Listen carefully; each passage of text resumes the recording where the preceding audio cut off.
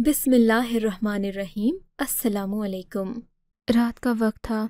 मैं अपने उस कमरे में बैठी थी, जहाँ पर कोई भी नहीं आता था। दरअसल, मेरे घर में सिर्फ़ मेरी भाभियाँ और भाई रहते थे। अम्मा अब्बा की तो कब की वफ़ात हो चुकी थी। अब मैं अपने भाइयों के रहमो करम पर थी। मैं अपने बड़े भाई से उम्र में बहुत ज़्यादा छोटी थी। इसीलिए अम्मा अब्बा जब दार फ़ानी से कूच कर गए तो इन्होंने मेरे भाई को यही नसीहत की थी कि सोबिया का ख्याल रखना, इसे अपनी बीवियों के रहमो करम पर ना छोड़ना। कुछ अर्सा तो भाई मेरी हिफाजत करते रहे पूछ गछ भी करते रहे अपनी बीवियों से कि सोबिया ने खाना खाया या नहीं। पर उसके बाद जब मैं ज़रा सी बड़ी हुई तो भाभीियों ने भाइयों के कान भड़काना शुरू कर दिए कि अब तुम अपनी बहन को लाड करना छोड़ दो, वरना हमारे बच्चों पर असर पड़ेगा।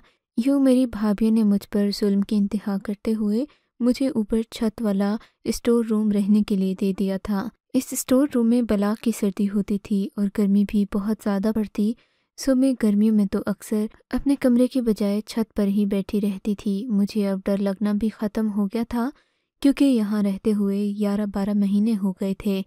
तभी एक रात जो कि पूरे चाँद की थी, मैं चारपाई पर मज़े से सो रही थी कि मुझे दूर छत की दीवार से फलांगता एक नकाब पोश नज़र आया। उसे देखते ही इससे पहले कि मेरी चीख निकलती, मैंने सोचा कि इसे तो स्टोर रूम का पता ही नहीं होगा। ज़रूर ये नीचे वाले कमरों में डाका डालने आया होगा। तो ऐसा ना हो कि मैं चीख भी मार लूँ और फिर ये आकर मुझे पड़ जाए या मेरी जान ले ले, क्योंकि मैंने सुन रखा था कि ऐसे डाकू बाज़ात मुसल्ह होते हैं और दूसरे की जान लेने से भी गुरेज नहीं करते। सो मैं खामोश बैठी रही, पर मेरी हैरत की इंतहा उस वक्त न रही। जब वो मेरे ही कमरे में दाखिल हुआ, उसने मुझे देखा, मैं जो कि चीखने ही वाली थी, आहिस्ता सी आवाज़ में बोला, खुदा के लिए शोर मत करना, मैं वो नहीं उसमें बोला, खुदा के लिए शोर मत करना, मैं वो नहीं हूँ जो तुम समझ रही हो। इस बात ने मुझे चुप रहने पर मजबूर कर दिया, पर मैं बहुत ज़्यादा बेचैन भी हो रही थी। मैंने पास पड़ी लालटन को जला लिया। मैंने देखा, वो एक तकरीबन 19-20 साल का लड़का था। जिसने खुद को नकाब में छुपा रखा था। मैंने कहा, तुम कौन हो? उसने कहा, तुम पहले ये कमरे का दरवाज़ा बंद कर लो, फिर बताऊँगा। मैं पागल हूँ, एक अजनबी के साथ बंद कमरे में बैठूं। दिल में सोचा, फिर उसने खुद ही उठकर कमरे के दरवाजे को अंदर से कुंडी लगा दी थी। मुझे बहुत डर लग रहा था।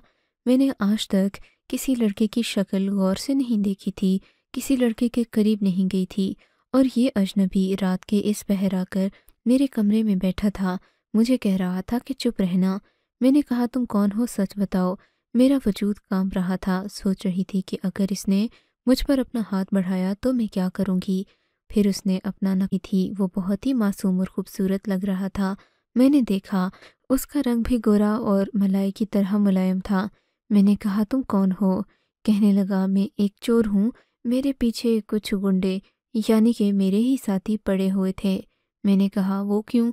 कहने लगा कि बस हमने एक जगह डाका डाला था। वहाँ पर जिस कमरे में सबसे ज़्यादा जेवर था, वहाँ मैं घुसा था। उसके बाद जब हम लोग वहाँ से निकल कर भागे, मेरे साथियों को लगा कि जैसे सारा जेवर मेरे पास है, इसीलिए वो लोग मेरे पीछे भाग रहे थे। मैं यहाँ चढ़ आया। अब वो लोग मुझे ढूंढ रहे होंगे। यकीनन जाकर पुलिस को भी मुखबरी कर देंगे। पुलिस मुझे ढूंढती रहेगी। मैं क्या करूँगा, मुझे नहीं पता। पर तुम अगर मुझे इस कमरे में एक रात की पनाह दे दो तो मैं तुम्हारा शुक्र गुजार रहूँगा। और देखो, मैं ये बातें कर ही रहा था कि मैंने कहा, तुम्हें कमरे में पनाह देने से मुझे क्या मिलेगा? मैं तुम्हारी को रिश्तेदार थोड़ी न लगती हूँ। अभी यहाँ से चले जाओ मैं तुम्हारी को रिश्तेदार थोड़ी न लगती हूँ। अभी यहाँ से चले जाओ, वरना मैं चीख मारकर सबको जमा कर दूँगी। मैंने गुस्से से कहा, उसने कहा, रुको, मैं तुम्हें एक ऐसी चीज़ दिखाता हूँ कि तुम्हें खुद ब खुद समझ आ जाएगी कि तुम्हें ऐसा क्यों करना चाहिए। फिर उसने अपना कोट खोला और उसकी जेब से सोने का चमकता हुआ हार निकाला। बोला, इसकी मालियत जानती हो कितनी होगी? हार काफ़ी भारी लग रहा था। मेरी आँखों में भी चमक आ गई। मैंने कहा, क्या है इसकी कीमत? बोला कि तुम्हारी सोच से भी ज़्यादा ये तकरीबन पच्चीस लाख का हार है और ये हार तुम्हारी ज़िंदगी बदल सकता है। मैं उसे देखकर हैरान रह गई थी। उसने तो मुझे ऐसी लालच दे दी थी, जो मैंने सारी ज़िंदगी नहीं देखी। मैंने कहा, क्या तुम वाकई ये हार मुझे दोगे? बोला कि बेशक अभी ले लो, और खरा सोने का है। इसीलिए तो अपने साथियों से भागा हूँ मैं। ये सुनकर मैं भी खामोश हो गई। मैंने सोचा, अगर इसने मेरे इतना कीमती हार क्यों देता? मैंने कहा, ठीक है, तुम मेरे इस कमरे में रह सकते हो। ये कमरा सबकी नज़रों से दूर है, पर एक शर्त है। कमरे में काफ़ी सारा सामान रखा है, तुम उसके पीछे छुप जाना। दिन के वक्त तुम्हें वहीं रहना पड़ेगा। मैं तुम्हारा बिस्तर इस बड़े संदूक के अंदर लगा दूँगी। तुम्हें अगरचे यहाँ रहने में दिक्कत तो होगी, पर मैं खुद भी कई बार संदूक में सोई हूँ, जब मुझे बहुत ज़्यादा डर लगता था। संदूक में मैंने कुछ सुराख भी कर रखे हैं, जिनसे हवा अंदर आती जाती रहेगी। तुम उसकी फ़िक्र मत करना कि दम घुटकर मर जाओगे, लेकिन अगर तुम संदूक में रहोगे तो कोई तुम्हें देख नहीं सकेगा। बोला कि क्या तुम इस बात की गारंटी देती हो कि यहाँ पर कोई नहीं आएगा? मैंने कहा हाँ लेकिन तुम्हें छुप कर रहना पड़ेगा। इस बात के बाद मैंने उसे संदूक में सोने का मशवरा दिया। उसको मैंने दो चार रजाइयाँ हटाने के बाद संदूक में लटा दिया था। दिल में एक डर भी था कि अगर भाभी वगैरह को, डर भी था कि अगर भाभी वगैरह को अचानक संदूक से रजाइयाँ ज़रूरत पड़ गईं और इन्होंने कहा कि हमने संदूक खोलना है तो मैं क्या करूँगी? फिर सोचा कि आज तक इन्होंने स्टोर का रुख भी नहीं किया। मुझे ही सब काम कहती हैं तो मैं खुद निकाल लूँगी। ये सोचकर मैं मुतमिन हो गई थी, पर मैं क्या जानती थी, आगे क्या होने वाला है? मैं उसकी बातें सुनती रही, यहाँ तक कि सुबह हो गई। मुझे बहुत नींद आई थी। उसे संदूक में रखकर मैं नीचे आई। घर में सब कुछ नॉर्मल था। मैंने खुदा का शुक्र अदा किया। दिन के वक्त जब सब लोग अपने कमरों में सो गए तो मुझे उसकी याद आई। उसने अपना नाम क्या बताया था ये भी नहीं याद। मैं जैसे ही ऊपर अपने कमरे में आई, दरवाज़ा बंद करने के बाद संदूक की तरफ़ बढ़ने ही लगी थी तो ये देखकर मेरा मारे हैरत के मुँह खुले का खुला रह गया कि वो संदूक तो खुला पड़ा था, लड़का उसमें कहीं नज़र नहीं आ रहा था। मैंने देखा वो संदूक के पीछे बैठा हंस रहा था, बोला कि मुझे बहुत बहुत परेशान हुआ, फिर मैंने किसी न किसी तरह संदूक का ढक्कन खोल ही लिया और बाहर आ गया। तुमने तो मुझे मार दिया था, लड़की। इतनी गर्मी में मुझे बंद करके तुम चली गई। तुम्हें ज़रा भी ख्याल नहीं आया। ये तो शुक्र है कि मैंने ये ढक्कन खोल लिया, वरना तो आज मैं इस दुनिया में ना होता। मैंने कहा, चलो अच्छा हुआ। अब तुम जाने की तैयारी करो। तुमने कहा था, एक रात रहोगे। मैंने तुम्हें एक रात तो यहाँ रहने दे दिया। अब वो हार मेरा हुआ। तुम यहाँ से जा सकते हो। बोला कि आज रात तो मैं नहीं जा सकूँगा, क्योंकि मेरे लिए बहुत मुश्किल हो जाएगी। वो लोग आसपास छुपे मुझे ढूंढ रहे होंगे। बस आज की रात मुझे यहाँ रहने दे तो। मैं मजबूर हो गई थी, बोला कि देखो, मैंने तुम्हें पच्चीस लाख भी तो दिया है। अगर तुम चाहो तो आज ही जाकर इस हार को बेचकर रकम ला सकती हो। फिर तुम खुद ही अंदाज़ा लगा लो कि मैंने तुम्हें कितनी बड़ी अपनी कीमती चीज़ दे दी। हालाँकि तुम तो दो तीन लाख रुपए पर भी खुश हो जाती। मैं तुम्हें कि तुम तो दो तीन लाख रुपए पर भी खुश हो जाती। मैं तुम्हें कोई कंगन, बाली कुछ भी दे सकता था। पर सोचो ना, मैंने तुम्हें ये हार ही क्यों दिया? क्योंकि तुम मुझे अच्छी लगी हो। इस तरह उसने वो बातें की कि मेरा दिल मोम हो गया। मैंने कहा, ठीक है, तुम आज रात रह सकते हो, पर ध्यान रहे। तुम्हारी बातों की आवाज़ नीचे नहीं जानी चाहिए। उसने मुझे मुकम्मल यकीन दिलाया, पर आज की रात सब कुछ बदलने वाला था। मैं इस बात से वाकिफ़ नहीं थी। जैसे ही मैं नीचे गई, अपने भाइयों भाभीियों से बात की तो भाभी मेरे रिश्ते की बात कर रही थी। बोली कि मेरा भाई है, उसके लिए तुम्हारा रिश्ता करना चाहते हैं। भाभी के भाई से मैं अच्छी तरह वाकिफ़ थी, जिसकी उम्र तकरीबन चालीस के करीब थी। उसकी पहली बीवी की वफ़ात हो चुकी थी। कुछ लोग तो ये भी कहते थे कि पहली बीवी उसके जुल्म सितम से तंग आकर अपनी जान ले चुकी थी, जबकि बाकियों का कहना था कि ये अपनी बीवी को खाने को भी कुछ न देता था। गर्ज तरह तरह की बातें बीवी की मौत में मशहूर थीं। ऐसे में मैं कैसे कहती कि वही आदमी मेरा शौहर बने और मेरी उम्र अभी सत्रह अठारह साल थी। ये सुनकर मैं बहुत परेशान हुई थी। भाभी कहने लगी कि तुम्हारा और कोई रिश्ता भी नहीं है तो तुम्हें अब मेरे भाई से ही ब्याह करना पड़ेगा और तुम तो शुक्र करो, तुम जैसी अनपढ़ लड़कियों का आजकल रिश्ता नहीं आता। मैं तो फिर भी ये समझती हूँ कि मेरा भाई एक शरीफ आदमी है, जिसने तुम्हें खुद पसंद किया है और वो तुमसे शादी करना चाहता है। तुम जानती हो मर्द को रिश्तों की कमी नहीं होती। ये बात सुनकर मेरा दिल टूट सा गया था। मैंने सोचा कि मैं अगर यहीं पर बैठी रही, मेरी भाभी मेरा रिश्ता अपने भाई के साथ कर देगी, क्यों ना मैं खाला के घर चली जाऊँ? पर खाला के घर रात के वक्त कैसे जाती? मैंने सोचा कि पहले मैं जाकर उस चोर को तो अपने कमरे से निकालूं। ये न हो कि वो बेचारा अपने पच्चीस लाख रुपए मुझ पर लुटा कर भी इसी तरह वहाँ पड़ा पड़ा मर जाए और फिर मुझे बदुआ वैसे तो मैं वो हार बेचकर अपनी ज़िंदगी संवार सकती थी, पर अकेली लड़की थी, इतना बड़ा रिस्क भी नहीं ले सकती थी। मैं ऊपर गई। मैंने उस लड़के से कहा कि मैं आज रात ही अपने घर से निकल जाऊँगी। इसलिए तुम भी यहाँ से चले जाओ तो बेहतर होगा, क्योंकि मेरे बगैर तुम्हारा यहाँ से निकलना मुश्किल है। कहने लगा, क्यों मुश्किल है? तुम कहाँ जा रही हो? मैंने उसे अपनी सारी कहानी सुना दी। बातें करते करते मैं रो पड़ी। वो मेरे सर पर हाथ रखकर बोला, अरे पगली, तू रोती क्यों है? मेरी भी बिल्कुल यही कहानी है। देख, कहानी से कहानी मिलती है और ऐसे ही घर बसते हैं। मेरे घर वालों ने भी मुझे घर से निकाल दिया था और मैं हालाँकि मदरसे का पढ़ा हुआ हूँ। मैंने कुरान पाक भी हिफ्स किया था। लेकिन उसके बाद मेरे चचा ने मुझ पर एक इल्ज़ाम लगाकर मुझे अपने घर से निकाल दिया। मुझे इस बात का आज तक गुस्सा है, मैं इसके बाद अपने घर वालों से नहीं मिला। खुदा के लिए, अगर तुम भी अपनी ज़िंदगी बचाना चाहती हो तो ये अगर तुम भी अपनी ज़िंदगी बचाना चाहती हो तो खाला के घर जाकर जलील रसवा होने से बेहतर है कि मेरे साथ चलो। हम दोनों ने कहा कर लेंगे और अपनी ज़िंदगी आराम से बसर करेंगे। मैं एक लम्हे के लिए उसकी बातों में आ गई। मैंने कहा यह भी ठीक है, मैंने घर से निकलना तो वैसे भी है और हाँ वो लड़का जिससे मेरी शादी होगी, वो तो तुमसे तकरीबन बीस साल बड़ा है। कहने लगा हाँ ठीक है, बस तुम तैयारी बांधो, ज़रूरी सामान लो, बाकी तुम जानती हो, जेवर मुझसे छिन भी सकता है, ये जेवर सारा तुम पहन लो, तुम्हें कोई हाथ तो नहीं लगा सकता। तुम ऊपर बुरका पहन लेना, ये हार, अंगूठियाँ, कंगन, सब तुम्हारे हुए, उसने मुझे अपने कोट की जेब से सारी चीज़ें निकाल कर मेरे हवाले करते हुए कहा, मैंने वो सारा जेवर पहन लिया अब सवाल ये था कि मैं अपने घर की दहलीज से कैसे निकलूं और फिर मैंने बुरका भी पहन रखा था। उसके लिए मैंने रात होने का इंतज़ार किया। तकरीबन एक दो बजे जब सब लोग गहरी नींद सो, जो कि आज इस घर से हमेशा के लिए जाने वाला था और मुझे भी साथ लेकर जा रहा था, मैंने जाकर आहिस्तगी से घर का दरवाज़ा खोला। उसने मुझे एक नज़र देखा और बोला, तुमने डरना नहीं है, हिम्मत करनी है। ये कहकर उसने मेरा हाथ पकड़ा और मुझे सड़क पार करवा कर दूसरी तरफ़ ले आया था। मुझे बहुत डर लग रहा था, क्योंकि उस वक्त मैं एक चोर के साथ थी, पर उसका हुलिया बिल्कुल बदला हुआ था। उसने अपना कोट वगैरह उतार फेंका था, कह रहा था, इस तरह वो लोग मुझे पहचान लेंगे। यही कोट हमारी पहचान हुआ करती थी। थोड़ी दूर जाकर उसने एक चंची वाले को हाथ दिया। खुदा जाने ये कहाँ जा रहा था उस वक्त। उसने हमें बिठा लिया। वो मुझे एक दूर दराज इलाके में ले गया था।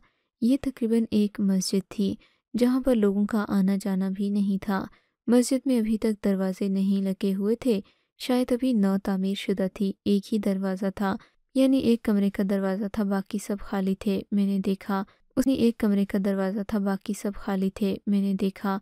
उसने घूम फिर कर मस्जिद का जायज़ा लिया और मुझसे बोला, गर्मी है, शुक्र करो कि हम गर्मियों में घर से भागे हैं। हमें कोई मसला नहीं होगा, तुम यहाँ सो जाओ, मैं तुम्हारा पहरा दूँगा। किसी की हिम्मत नहीं कि तुम्हें कुछ कह सके। मैंने कहा, मस्जिद में कोई ऐसे काम नहीं करता। हम दोनों सो गए थे। सुबह फजर से पहले हमारी आँख खुल गई। उसने बाहर जाकर देखा, बोला कि अच्छा तुम अभी यहीं पर रुको। मुझे अपना दो चार कंगन उतार कर दो। मैं पैसे लेकर आता हूँ। फिर हम कहीं जाकर होटल में रहने का इंतज़ाम करते हैं। मैंने उसे कंगन उतार कर दिए। हमने जेवर बेचा। होटल में रहने के लिए चले गए थे। शाम को उसने मौलवी साहिब को बुलाया। और हम दोनों का निकाह पढ़ा लिया गया। मौलवी साहिब जब मेरा निकाह पढ़ा रहे थे, मुझसे मेरा पूछने लगे तो मेरा जवाब भी उमर नहीं दिया। कहने लगा कि ये एक अल्लामा साहिब की बेटी है। बस हम दोनों ही घर से भागे हुए हैं। लेकिन अलामा साहिब की कई साल पहले वफ़ात हो चुकी थी और इसके बहन भाई से दीन की राह पर चलने नहीं दे रहे थे। मेरा भी यही हाल है। मेरे ख़ानदान में बाकी सब लोग बहुत पढ़े लिखे और अमीर हैं। एक मैं था जो इस राह पर आ गया, तब मेरे घर वाले मेरे दुश्मन बन गए और मैंने उन्हें छोड़ दिया। अब वो मेरी शादी किसी बहुत ही मॉडर्न और फ़ैशन ज़्यादा लड़की से करना चाहते थे। गर्ज उसने ऐसी बातें की कि मौलवी साहिब बहुत ज़्यादा मुतासर हो गए, कहने लगे, बेटा, तुम लोगों ने तो बहुत ज़्यादा सवाब का काम किया है। मैं तो सोच भी नहीं सकता कि आजकल के ज़माने में ऐसे बहादुर लड़के लड़कियाँ भी मौजूद हैं। लेकिन बेटे, अब तुम रहोगे कहाँ? मैं तुम्हारे लिए रहने का बंदोबस्त किए देता हूँ। मुझे मालूम होता कि तुम इतनी मुश्किल में हो। तो मैं तुम्हें पहले ही कोई ना कोई बंदोबस्त करके दे देता। मैंने सुना है कि कल तुम लोग इसी मस्जिद में रहे हो। जी अलामा साहिब, हमने मस्जिद का इंतखब इसलिए किया कि हमने मस्जिद का इंतखब इसलिए किया कि हम कहीं बहक न जाएँ। ये सुनकर अलामा साहिब तो और ज़्यादा झूम उठे। यहाँ तक कि वो हमारे मुरीद हो गए। कहने लगे, बेटा मेरे लिए तो ये सवाब का काम होगा। मैं अपने शौहर उमर की इस फनकारी पर हैरान थी कि उसने साथ साथ मुझे भी आलिमा बना डाला। मुझे तो नमाज़ के अलावा और कुछ नहीं आता था। सोचा कि अब मैं क्या करूँगी? खुदा न खास्ता मुझे कहीं कुछ पढ़ना सुनाना गया तो मैं क्या करूँगी? मैंने उमर से बाद में पूछा, भी ये तुमने क्या किया? बोला कि, इसमें हर्जी क्या है? मैं हाफिज़ कुरान हूँ। मैं सब कुछ कर लेता हूँ। नमाज़ भी पढ़ा लेता हूँ। ये तो मैं इस रास्ते पर आ गया था। इसलिए इतना सब कुछ अलग हो गया, वरना तुम्हें क्या लगता है? मैं कोई पैदाइशी चोर या गुंडा था। उसकी बात सुनकर मैं चुप हो गई। मौलवी साहिब ने हमें अपने ही घर के एक हुजरे में जगह दे दी। बोले कि बेटा, जब तक तुम्हारी रिहाइश का बंदोबस्त नहीं हो जाता, तुम यहीं पर रह लो। मैंने अपने शोहर से कहा तुम कम से कम ये जेवर तो बेचो ताकि हमारे पास कुछ रुपया आए, जिससे हम अपनी ज़िंदगी संवार सकें। बोला कि मैं ऐसा ही करूँगा, लेकिन मुझे कुछ वक्त चाहिए। मैंने कहा, तुम जितना चाहे वक्त लो, लेकिन हमें यहाँ से निकलना होगा। बहरहाल दो तीन दिन के बाद जब मेरे शोहर ने जाकर वो जेवर बेचने की कोशिश की तो पता चला कि वो तो सोने का था ही नहीं, उस पर सोने का पानी चढ़ा हुआ था। उसकी कीमत महज चार पाँच हज़ार रुपये थी। हमारे तो जैसे सरों पर बम फट पड़ा था। समझ नहीं आता था कि हम जाएँगे कहाँ। एक ही बालियाँ थीं, जो कि खरी खोटी थीं और जिनसे हमें पैसे मिल गए थे। लेकिन अब अब हमारे पास कोई इंतज़ाम नहीं था। तब मेरा शोहर गुमराही की राह पर आ गया। अल्लामा साहिब जब वहाँ ना होते तो वो दम दरूद का चक्कर चलाने लगता। जो भी लोग उसके पास आते, उनसे यही कहता कि मैं उनका जानशीन हूँ गति नशीन हूँ। अलामा साहिब के बाद मैं ही उनकी जिम्मेदारियों को संभालूँगा। बात कबूल कर ली। एक दिन तो हद ही हो गई। एक औरत आई जिसकी तलाक हो चुकी थी। कहने लगी मैं अब अपने शोहर से अलहदगी चाहती हूँ, लेकिन वो मुझे कहता है कि तुम पहले मौलवी से फतवा लेकर आओ, तभी मैं तुम्हें अलहदगी के लिए इजाज़त दूँगा। मेरी मदद करें, मेरा शोहर बहुत पैसे वाला है, वो मेरे साथ बहुत बुरा सलूक करता है। मैं उसके साथ मज़ीद रहना नहीं चाहती। अलामा साहिब, आप कोई फतवा दे दें। अलामा साहिब ने तो क्या फतवा देना था? लेकिन अगले दिन उस औरत का शोहर भी अलामा साहिब से मिलने के लिए आ गया। अलामा साहिब घर पर नहीं थे। वो मेरे शोहर से मिला। मेरे शोहर ने खुदा जाने उसको क्या पट्टी पढ़ाई कि वो बड़ा खुशबाश वहाँ से गया। मेरे शौहर को बीस हज़ार रुपये भी देकर गया। मैं ये देखकर हैरान हुई। मैंने पूछा, ये क्या है? बोला कि, कुछ नहीं। मैं तो बस उसकी मदद कर रहा था। उसको तलाक से बचने का रास्ता बता रहा था। तुम बिल्कुल फ़िक्र नहीं करो। मुझे रहा था। तुम बिल्कुल फ़िक्र नहीं करो। मुझे बाद में पता चला कि मेरे शौहर ने उस आदमी से पैसे क्यों मांगे थे। जब वो घर आया तो बहुत ज़्यादा परेशान था, क्योंकि अगले दिन उसके हाल बुरे हुए थे। ऐसा लगता था जैसे किसी ने उसको मार दिया हो और वो कब्र से निकलकर वापस घर आया हो। वो तकरीबन दो दिन बाद घर लौटा था। इन दो दिनों में मैं बहुत परेशान हुई थी। अलामा साहिब भी बहुत परेशान थे कि लड़का कहाँ चला गया। और जब मेरा शौहर घर आया तो मैंने देखा उसके सर पर चोटें आई हुई थीं और वो बहुत बुरे हालात में था। मैंने कहा, क्या हुआ? मेरे पाँव पड़कर माफ़ी मांगी और बोला, मुझे माफ़ कर दो, मैं आज सच्ची तौबा करूँगा। अल्लाह से अपने सारे गुनाहों की माफ़ी मांगूँगा। मैं लालच में आ गया था। मैंने उस अमीर औरत के शौहर से बीस हज़ार रुपये लेकर उसका हलाला करने के लिए उसे कहा था कि तुम मुझसे इसका निकाह करवा दो। फिर तुम्हारी बीवी वापस से तुम्हारी हो जाएगी। हकीकत पता चली तो उसने मुझे मार मार कर आधमुहा कर दिया। बोला कि मैं तो अपनी बीवी को तलाक ही नहीं देता। मैं ऐसे ही इसके साथ रह लूँगा। किसी और मर्द की गुर्बत बर्दाश्त नहीं कर सकता। मुझे क्या पता था वो इतना अनपढ़ और जाहिल है कि उसको हलाला का मतलब भी नहीं पता। उसने मुझसे यही कहा कि तुम मौके पर मेरी बीवी से निकाह करो और तलाक दे दो तो यूँ हलाला हो जाएगा। मैंने उसे कहा ऐसा नहीं होता। मुझे तुम्हारी बीवी के साथ कुछ वक्त रहना पड़ेगा। उसने मुझे मार मार कर आदमुहा कर दिया और बोला, मौलवी, तेरी नीयत कितनी ख़राब है। एक तो तू मेरी बीवी के साथ रहे, ऊपर से पैसे मांग रहा है। मुझे ये बात बहुत बुरी लगी। अल्लाह ने मुझे सज़ा दी है। यकीन मानो चोरी करता रहा। बहुत बार जलील रसवा हुआ। इतना दुख कभी नहीं हुआ जितना इस इज़्ज़त के मनसब से बेइज्जत होने के ऊपर मुझे दुख हुआ है। अब वो कहीं आकर यहाँ अल्लामा साहिब को सब कुछ बताना दे। इसलिए मैं उन्हें सब कुछ खुद ही बता दूँगा। हैरत ने अलामा साहिब को ये सारी बातें बताईं तो बजाय उस पर गुस्सा करने के, इन्होंने उसे गले से लगा लिया और उसकी तौबा को कबूल करने के लिए दुआ करने लगे। सच है कि सिर्फ़ अल्लाह की राह पर चलने वालों का दिल ही इतना कुशादा हो सकता है, वरना कोई और होता तो मुझे और मेरे शौहर को उस मस्जिद के हुजरे से निकाल कर बाहर फेंकता और कहता कि तुम नापाक हो, इस पाक जगह पर रहने का हक नहीं रखते। आपको अगर ये कहानी अच्छी लगी है तो इस वीडियो को लाइक कीजिए और इस तरह की मजीद कहानियाँ सुनने के लिए हमारे चैनल को ज़रूर सब्सक्राइब कीजिए। कहानी सुनने का शुक्रिया। आपसे मुलाकात होगी अगली वीडियो में। तब तक के लिए अल्लाह हाफिज।